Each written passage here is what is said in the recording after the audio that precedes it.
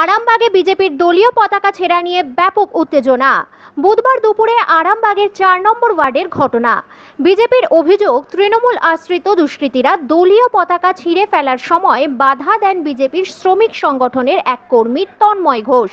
প্রতিবাদ করায় তাকে বেধড়ক মারধর করা হয়। জখম অবস্থায় তন্ময়কে চিকিৎসার জন্য নিয়ে যাওয়া হয় আরামবাগ মহকুমা হাসপাতালে। তার সঙ্গে দেখা করতে হাসপাতালে যান বিজেএমটিইউর আরামবাগ জেলা সাংগঠনিক সভাপতি শুভাশিস দত্ত ও বিজেপির নেতা রাজু রানা।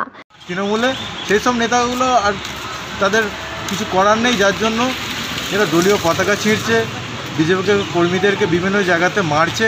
এই সমস্ত কিছু খুন খারাপ রাজধানীর ঘটনাই প্রতিনিয়ত ঘটিয়ে চলেছে। যদিও মারধরের ঘটনায় তৃণমূলের বিরুদ্ধে ওঠা অভিযোগ পুরোপুরিভাবে অস্বীকার করেছে স্থানীয় তৃণমূল নেতৃত্ব। দুষ্কৃতীদের আঁতুল ঘর হচ্ছে ওরা।